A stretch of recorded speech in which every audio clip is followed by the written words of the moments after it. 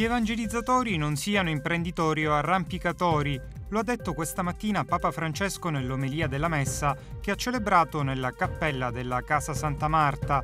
Il pontefice si è soffermato sulle tre dimensioni dell'evangelizzazione, annuncio, servizio e gratuità. Papa Francesco accetta le rinunce di tre vescovi cileni.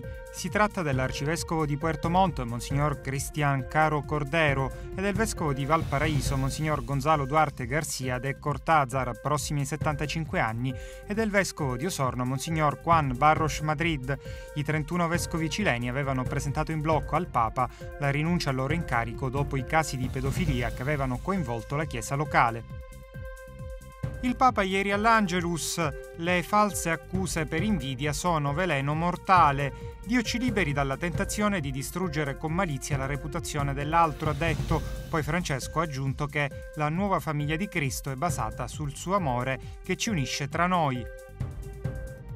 Un'alleanza per affrontare le due grandi fragilità del mondo, i poveri e l'ambiente, e la richiesta di Papa Francesco ai partecipanti all'incontro sulla transizione energetica e della cura della casa comune ricevuti in Vaticano.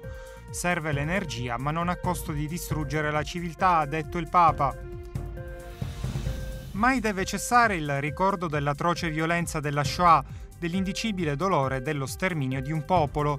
Così Papa Francesco in un messaggio a firma del cardinale segretario di Stato Pietro Parolin in occasione del concerto presso la Filarmonica di Berlino per il quarantesimo anniversario della presenza del cammino neocatecumenale nella capitale tedesca. L'annuncio, il servizio e la gratuità – sono le tre dimensioni dell'evangelizzazione che Papa Francesco ricorda nell'omelia della messa celebrata a Santa Marta. Partendo dalle letture del giorno, il pontefice chiarisce che è lo Spirito Santo il protagonista dell'annuncio, che non rappresenta una semplice predica, ma un moto dinamico capace di cambiare i cuori.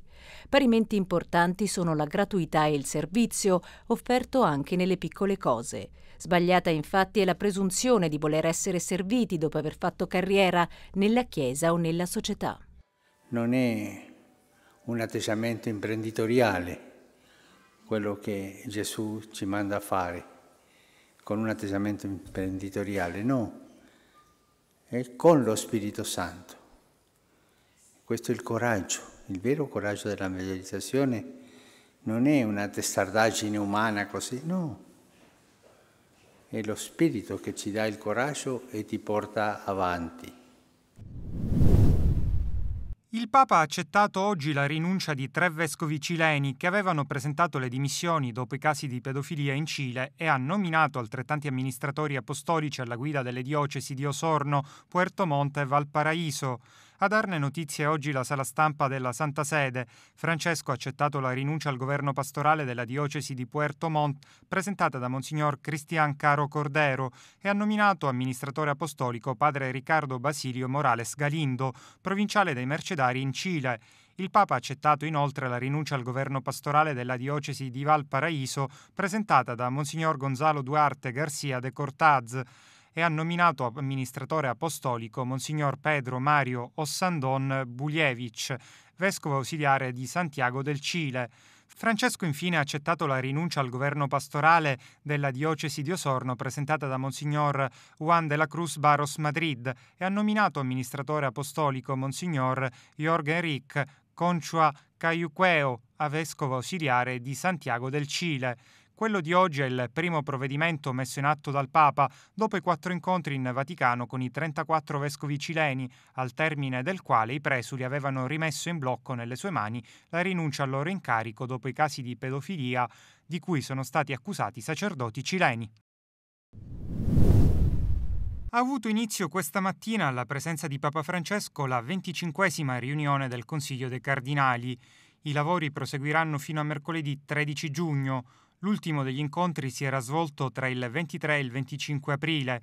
In quella circostanza è stato comunicato dalla Sala Stampa Vaticana che gran parte dei lavori era stata dedicata alla rilettura della bozza della nuova Costituzione apostolica della Curia romana. La malizia con cui in modo premeditato si vuole distruggere la buona fama dell'altro è veleno mortale Lo ha detto il Papa durante l'Angelus di ieri, al quale, secondo la Gendarmeria Vaticana, hanno partecipato 20.000 persone. Infatti può capitare che una forte invidia per la bontà o per le opere buone di una persona possa spingere ad accusarla falsamente. Qui c'è un vero veleno mortale, la malizia con cui in modo premeditato si vuole distruggere la buona fama dell'altro. Dal Papa l'invito a fare l'esame di coscienza anche su questo aspetto. E se esaminando la nostra coscienza ci accorgiamo che questa erba cattiva sta germogliando dentro di noi, andiamo subito a confessarlo nel sacramento della penitenza, prima che si sviluppi e produca i suoi effetti malvagi che sono inguaribili. Poi il monito di Francesco. Siate attenti voi, siate attenti perché questo atteggiamento distrugge le famiglie, le amicizie, le comunità e perfino la società. Il Papa si è soffermato anche sull'incomprensione dei suoi familiari verso Gesù. A loro la sua nuova vita itinerante sembrava una pazzia, ha detto Francesco. Gesù ha formato una nuova famiglia, non più basata sui legami naturali, ma sulla fede in Lui, sul suo amore che ci accoglie e ci unisce tra noi nello Spirito Santo. Tutti coloro che accolgono la parola di Gesù sono figli di Dio, fratelli tra di loro accogliere la parola di Gesù ci fa fratelli fra noi, ci fa la famiglia di Gesù. Sparlare degli altri, distruggere la fama degli altri ci fa dalla famiglia del diavolo. Desidero nuovamente far giungere all'amato popolo coreano un particolare pensiero nell'amicizia e nella preghiera i colloqui che avranno luogo nei prossimi giorni a Singapore possano contribuire allo sviluppo di un percorso positivo che assicuri un futuro di pace per la penisola coreana e per il mondo intero.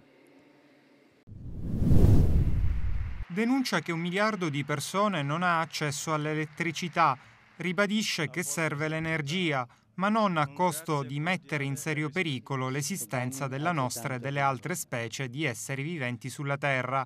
È il monito di Papa Francesco durante l'udienza sabato scorso in Vaticano con i partecipanti al simposio per i dirigenti delle principali imprese del settore petrolifero, del gas naturale e di altre attività imprenditoriali collegate all'energia. La sfida indicata dal Papa è quella di riuscire a garantire l'enorme quantità di energia necessaria per tutti con modalità di sfruttamento delle risorse che evitino di produrre squilibri ambientali tali da causare un processo di degrado e inquinamento.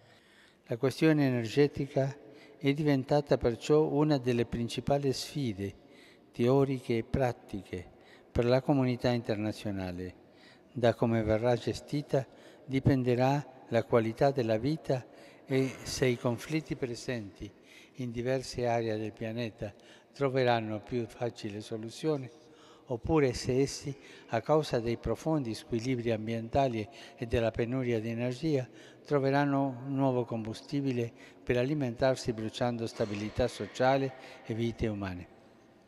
L'invito del Papa è quello di creare una nuova leadership, un'alleanza capace di incidere in modo duraturo. Mai deve cessare il ricordo dell'atroce violenza, dell'indicibile dolore e dello sterminio di un popolo. È quanto si legge nel messaggio inviato da Papa Francesco tramite il cardinale segretario di Stato Pietro Parolin all'arcivescovo di Berlino in occasione del concerto alla Filarmonica per il quarantesimo anniversario del cammino neocatecumenale. La Shoah per il Papa deve essere un monito costante per tutti noi a un impegno di riconciliazione, di reciproca comprensione e di amore nei confronti dei fratelli maggiori, gli ebrei, e al contempo ad una vita dedita a favore dei sofferenti, degli indigenti e di tutti coloro che dal profondo anelano alla salvezza.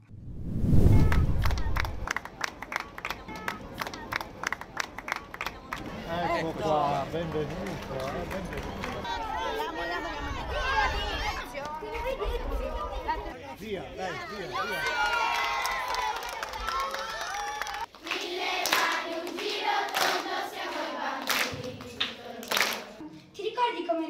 le tue maestre? La maestra si chiamava Stella. Una maestra l'ha avuto nel primo anno e poi nel terzo, la stessa maestra. Era brava, ci insegnava a scrivere, a leggere, bravissima. Non dimenticatevi mai dei primi maestri, non dimenticatevi mai della scuola. Perché? Sentite bene, perché sono le radici della vostra cultura.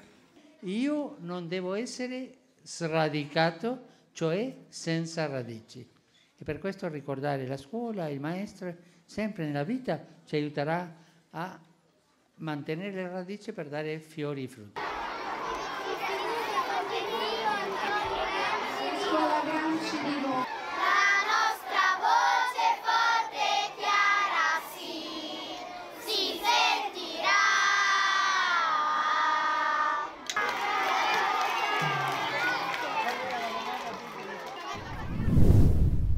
un uomo buono divenuto santo, un vero ponte fra cielo e terra. Così il segretario di Stato Vaticano, il cardinale Pietro Parolin, ha ricordato Giovanni XXIII nell'omelia che ha pronunciato sabato a Sotto il Monte, durante la messa che ha concluso la peregrinazio dell'urna con le spoglie di Papa Roncalli. Un evento di grazia che ha registrato una straordinaria partecipazione di fedeli, ha detto il cardinale.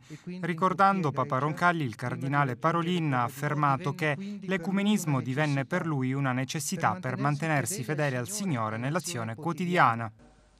Egli era ben consapevole della complessità e difficoltà del percorso volto a ristabilire la piena comunione, sapendo che i tempi e i modi erano riservati alla provvidenza.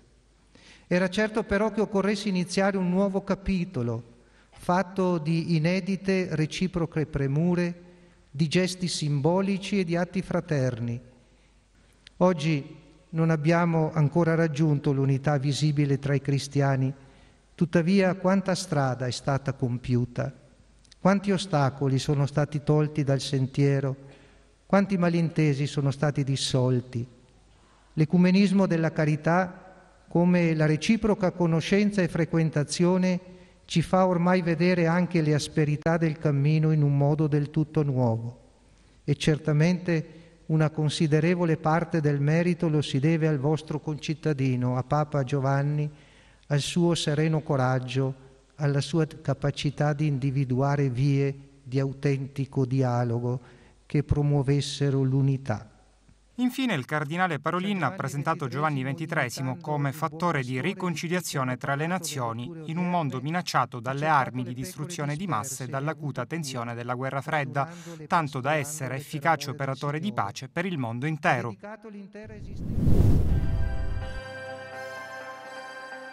Sicuramente molta devozione, speranza, attesa per questo evento storico. Papa è stato alla storia di Sotto il Monte, ha fatto tanto, ha lasciato un segno tangibile. Quando senti la voce ti avvolge proprio. È lui.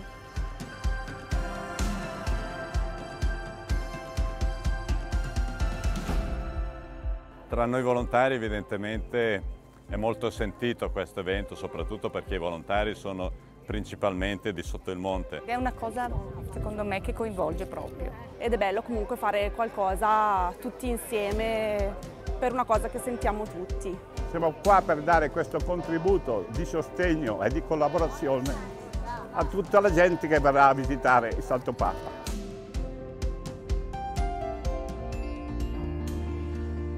Tutti l'hanno chiamato il Papa Buono ma il buono non significa semplicemente un bonaccione, perché lui era anche un bonaccione, quando lo si vedeva parlava, incontrava la gente.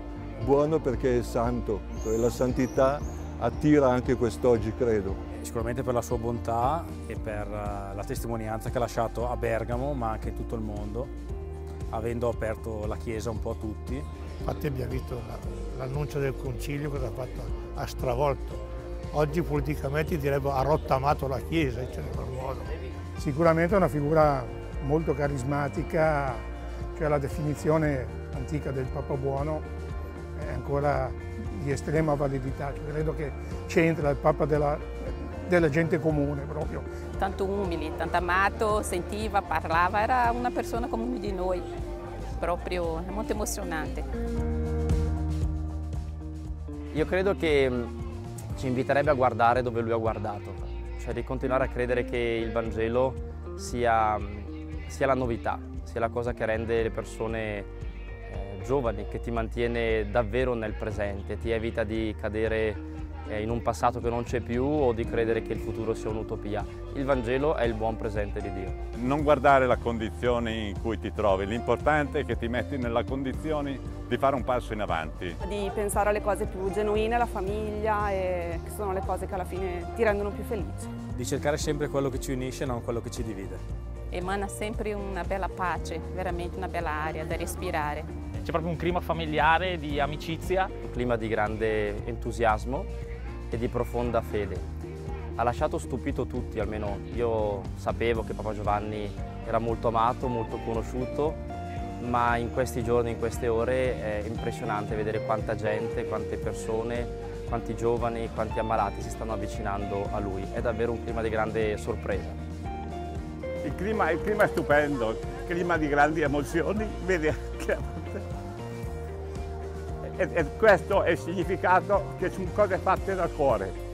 Noi cerchiamo di essere proprio di aiuto e la sensibilità purtroppo ci tocca anche. Questo è in tutti noi.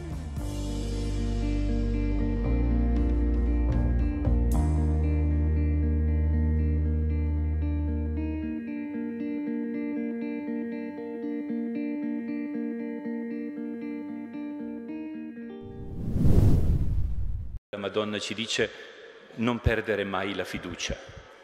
In ogni evento, in ogni situazione, sappi vedere il bene che si fa strada e sta trionfando. Proprio con fiducia e audacia, in mezzo a tante difficoltà e fatiche, 150 anni fa Don Bosco portava a compimento la costruzione di questa basilica e l'invito rivolto ai fedeli da Monsignor Renato Boccardo, arcivescovo di Spoleto Norcia, nell'omelia della messa che ha celebrato sabato nella basilica dedicata a Maria Ausiliatrice a Valdocco, nel 150 anniversario di consacrazione. Il presule ha ricordato le generazioni che qui si sono succedute nella devozione a Maria, aiuto dei cristiani. Riusciamo appena ad immaginare quante gioie e dolori quante angosce e speranze sono state vissute e sperimentate ai piedi della Vergine, con la preghiera a lei, con il suo nome sulle labbra e la sua invocazione nel cuore. Quanti hanno trovato in lei forza e coraggio per andare avanti. A celebrare la messa è stato l'arcivescovo di Spoleto Norcia perché quella diocesi custodisce un'immagine mariana che ha come titolo Aiuto dei cristiani immagine che ha ispirato San Giovanni Bosco a dedicare la basilica a Maria Ausiliatrice, ricordando l'esortazione della Madonna venerata a Spoleto, sii buono, l'arcivescovo ha presentato la bontà come un valore trascurato nei rapporti quotidiani, troppo spesso improntati alla competizione e all'aggressività. Vediamo gli uomini sempre più impegnati a desiderare con voracità il potere, la ricchezza, il successo, da ottenere in qualsiasi modo. Eppure nella nostra coscienza avvertiamo che questo modo di vivere è sbagliato.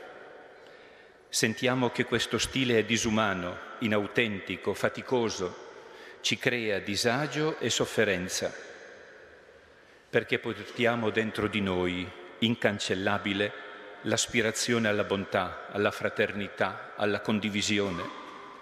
Sogniamo un mondo più amorevole, vogliamo più dolcezza, più buon cuore, più generosità, più giustizia. Desideriamo poter essere di aiuto agli altri e poter chiedere aiuto quando ne abbiamo bisogno.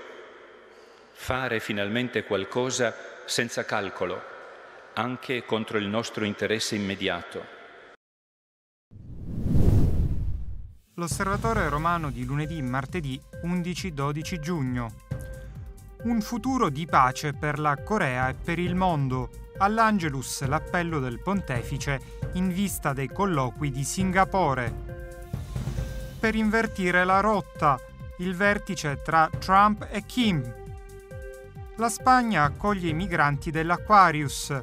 Un duro scontro tra Italia e Malta ha costretto la nave con oltre 600 persone a bordo a vagare nel Mediterraneo.